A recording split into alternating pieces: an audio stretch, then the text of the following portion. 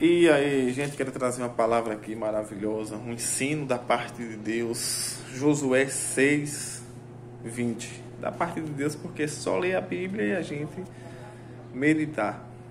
Então não tem o que alterar.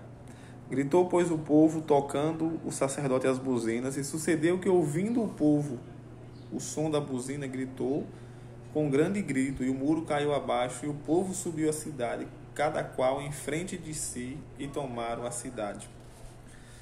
Então aqui ele fala na, na invasão de Jericó.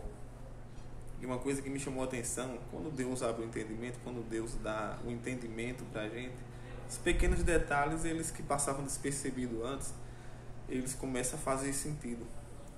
Hoje, nós observamos muita gente gritando e a vida não muda nada, muita gente fazendo barulho, muita gente fazendo algazarra. Isso em qualquer ambiente, mas eu quero falar especificamente nas igrejas.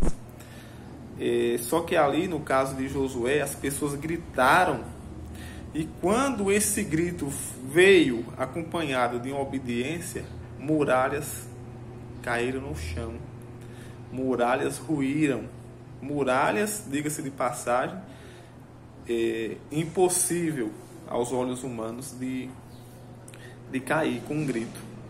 Mas quando esse grito vem acompanhado de uma obediência à palavra de Deus, de santidade, de temor, esse grito ele tem muito poder. Então muitas vezes você ora, você busca, você grita, você chora, faz faz realmente a parte humana, a parte sua que deve ser feita, mas não obedece não obedece a palavra de Deus, não se santifica, não se purifica, não se separa das coisas mundanas. E aí a vida não muda. Então, se você quer destruir muralhas, se você quer derrubar muralhas, porque ali foi o, o, o agir de Deus, mas teve a parte do ser humano. A parte do ser humano é obedecer. Então, quando nós obedecemos, mais cedo ou mais tarde as muralhas caem.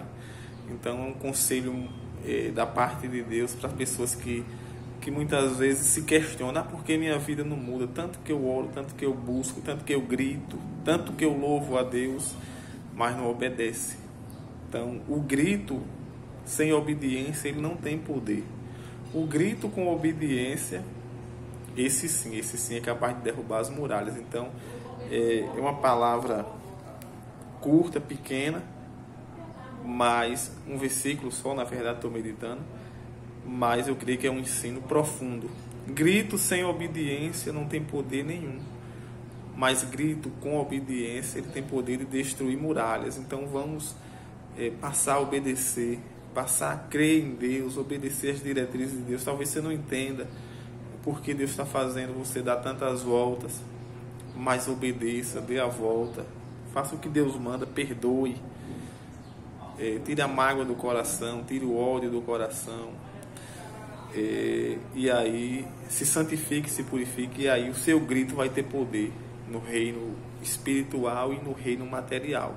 Se você quer ver a sua oração ter poder de mudar vidas, de abençoar vidas, de mudar a sua própria vida, de derrubar as muralhas que lhe cercam, é, antes desse grito tem a obediência.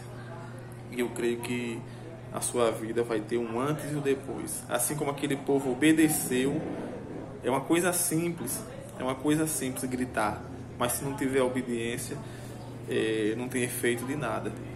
Mas se vier acompanhado da obediência, tem um poder de destruir muralhas, de destruir cadeias. Por quê? Porque é o poder de Deus que vai acompanhar ali cada onda sonora. Então que Deus abençoe vocês através desse ensino e compartilhe essa mensagem com mais pessoas. Tudo de bom.